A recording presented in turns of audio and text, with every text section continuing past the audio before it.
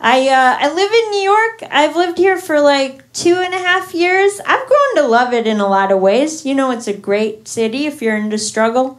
Uh, doing amazing things with trash, really reinventing the form. I was trying to explain to a friend what it's like to live here. To me, it feels like everyone in the city is just an involuntary contestant in a reality show called So You Think You Can Exist? and then every day you just stick your head out of the little box you were assigned, and the city just hurls experiences at your face. it's just like, you gonna break today?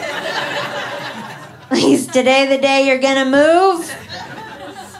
What's gonna tip it? Is it gonna be the pigeon with the lazy eye?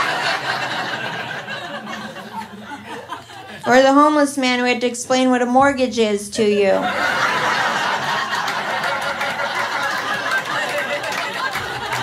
What's it gonna be? My friend is looking for an apartment here. She told me the worst real estate story I've ever heard. She was looking at a place where the landlord on the tour just said very casually, Oh, by the way, you're not allowed to poop in the toilet.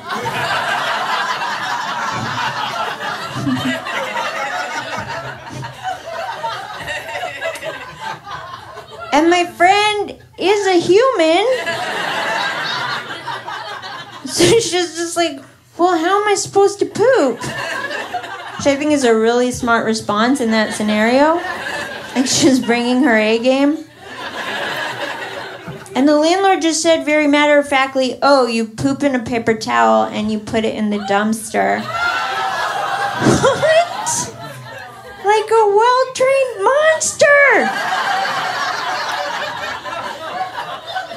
Eyes should have just started bleeding at that point and should have flown out the window. Been the only logical follow up to that statement. Like you're in hell. Honestly, the worst part of the story was that it was a three thousand dollar apartment. It's not like a Craigslist apocalypse scenario. Like whoever wants it, come squat here. It's like, no, clearly no one's allowed to squat there in any sense of the word.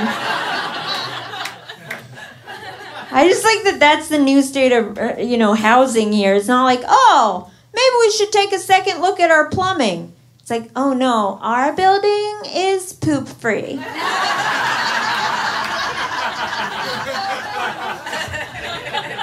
oh, you still poop? So gauche.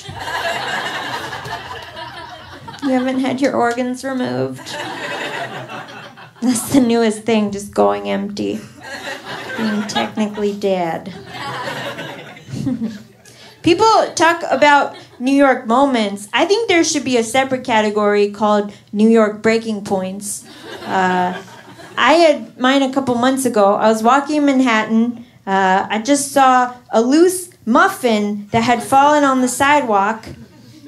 And I just kicked it really hard.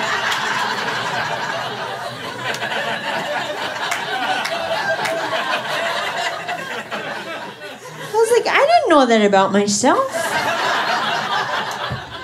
I didn't know I was a muffin kicker. Like the top shot off in one direction, the body kept rolling. I was like, sick!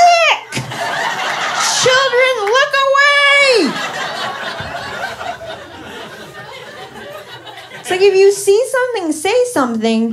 What if it's you? You're in the something? New York's like full of experiences though where you see something and you're like, I should say something. I should tell someone. I should tell one other person before I die. This was actually kind of cute. One time I was walking and a black guy with a mohawk was coming down the street one way, high fived a white guy with a mohawk going the other way. Yeah. So I made a wish.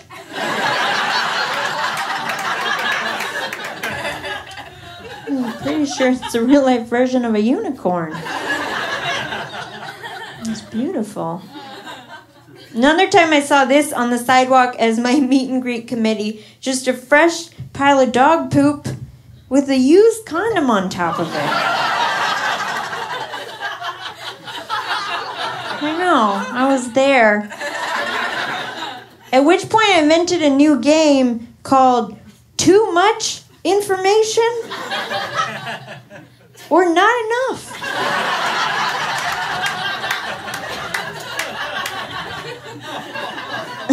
There are no winners in that game, you're right. You start an Instagram account, you keep it moving. Put it on the internet where it counts.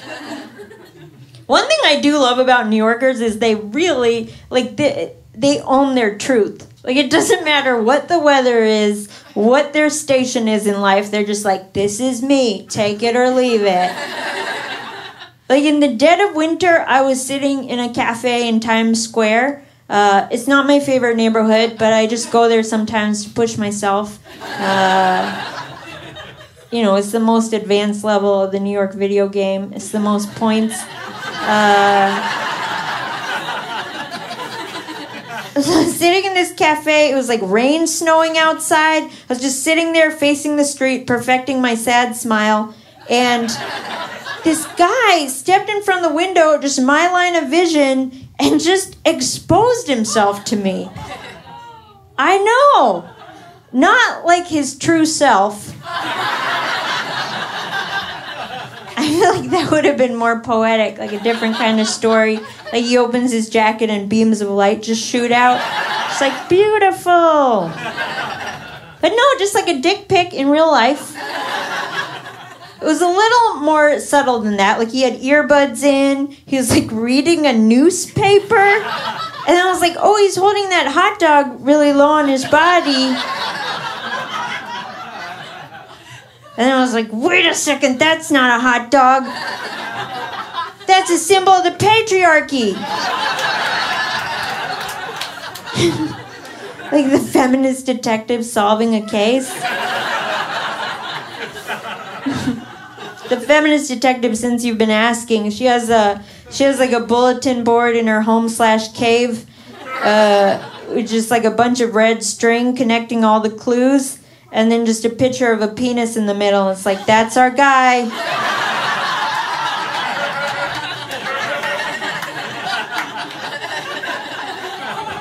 He knows what he did. We'll never forgive him but that's never happened to me before. Like, I didn't really know how to react. I think I immediately looked at it, looked back down, tweeted about it, or something equally meaningless. It's like, what would the brand say about this? Uh, I just feel like I wasted the opportunity. Like, I don't have to tell you guys, but as a young girl, you dream of that day when a stranger first exposes himself to you in public. You know, it's like the new marriage for women on the go.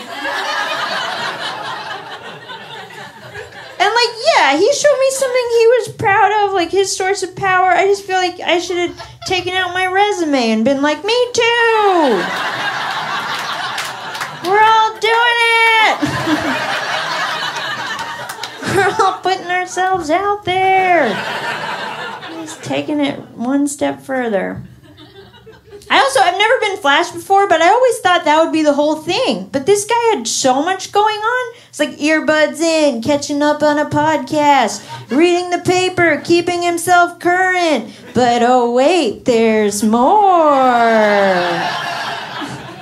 I just like when he got up that morning, he was like, "Yeah. Yeah, I'm a pervert. But I'm getting things done." like, "Yeah, you are, sir." Good for you. You're just slamming through your to do list. I'm impressed.